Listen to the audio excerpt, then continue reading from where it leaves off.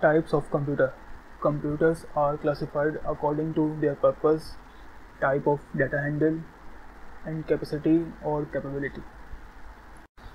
Purpose के लिहाज से दो टाइप्स के कंप्यूटर होते हैं जनरल पर्पस कंप्यूटर और स्पेशल पर्पस कंप्यूटर बहुत सारी या अलग अलग ज़रूरियात के लिए जो कंप्यूटर बनाए जाते हैं वो जनरल पर्पस कंप्यूटर कहलाते हैं और जो कोई मखसूस काम के लिए बनाए जाते हैं, वो कहलाते हैं special purpose computer type of data handle के लिहाज से कंप्यूटर के तीन टाइप्स हैं एनालॉग कंप्यूटर्स डिजिटल कंप्यूटर्स और हाइब्रिड कंप्यूटर्स एनालॉग कंप्यूटर में डाटा वेव्स और किसी इंडिकेटर के थ्रू हमें नज़र आ रहा होता है। जैसा कि हमारे एनालॉग वॉच में होती है। डिजिटल कंप्यूटर्स महारत रखते हैं डिजिट्स में।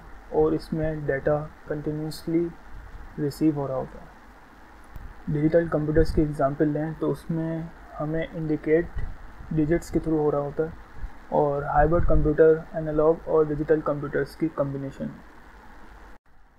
कैपेसिटी और कैपेबिलिटी के लिहाज से जो कंप्यूटर की टाइप्स हैं, अब हम उनको डिस्कस करेंगे। सुपर कंप्यूटर सुपर कंप्यूटर आज तक की बड़ी और तेज़ मशीन है। जिसमें numerical computation 50 millions operation per second की स्पीड से किए जाती हैं।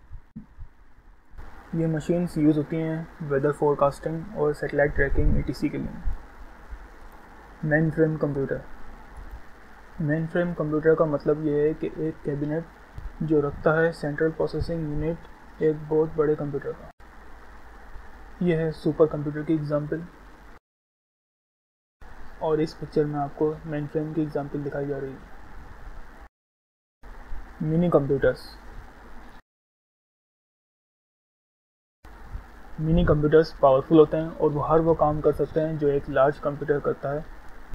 ये मेन फ्रेम से स्लो वर्क करते हैं और इनकी कॉस्ट भी कम होती है। माइक्रो कंप्यूटर माइक्रो कंप्यूटर वो कंप्यूटर हैं जो माइक्रो प्रोसेसर के ज़रिए चलते हैं। बाज़ात इन्हें सिंगल चिप प्रोसेसर भी कहा जाता है। माइक्रो कंप्यूटर या पर्सनल कंप्यूटर सबसे छोटे कंप्यूटर होते हैं। ये टाइप करने, गेम्स खेलने और दूसरे से कम्युनिकेशन के लिए यूज़ होते हैं। ये कुछ टेक्स्ट बुक्स जो आपको रिकमेंड की गई हैं। और नंबर फाइव पे एक वेब पोर्टल है जिसमें आईटी के सारे लेक्चर्स आपको अपडेटेड मिल जाएँगे।